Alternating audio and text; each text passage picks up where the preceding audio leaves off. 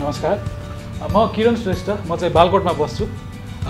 डेढ महिना अगाडि जति मैले चाहिँ कौशलटारमा कफी बेचिरहेको देखेँ एउटा स्टलमा।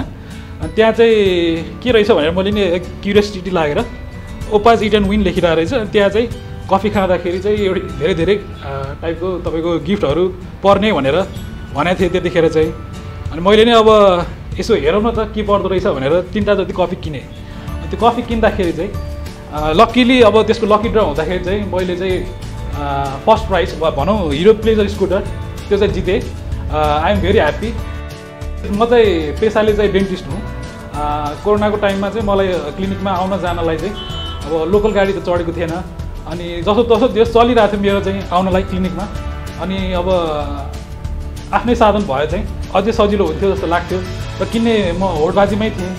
र लक्किली चाहिँ मलाई चाहिँ ओपास कफी खाँदाखेरि चाहिँ हिरो प्लेजर स्कुटर पऱ्यो। र पछि बुझ्दै जाँदाखेरि चाहिँ के थाहा भयो भने ओपास इजन विनबाट चाहिँ स्टुडेन्टहरूलाई चाहिँ निम्न वर्गका स्टुडेन्टहरूलाई चाहिँ स्कोलरसिप पनि दिइरहेको रहेछ। So it is for a social cause as well भन्ने थाहा पाउँदा चाहिँ मलाई झनै खुसी लाग्यो। So the coffee is worth it है। यसमा चाहिँ अब कफी पनि पाइने प्लस अब लकी ड्रमा पनि हाम्रो नाम जान्छ र त्यसमा हामीले जित्न सक्ने रहेछौँ।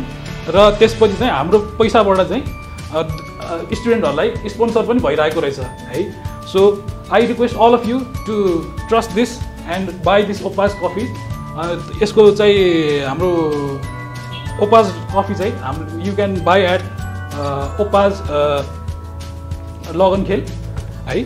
त्यहाँ चाहिँ यसको ओपास बार रहेछ। अनि यु क्यान अल्सो अर्डर होइन coffee so I request all of you to please support this cause thank you Opa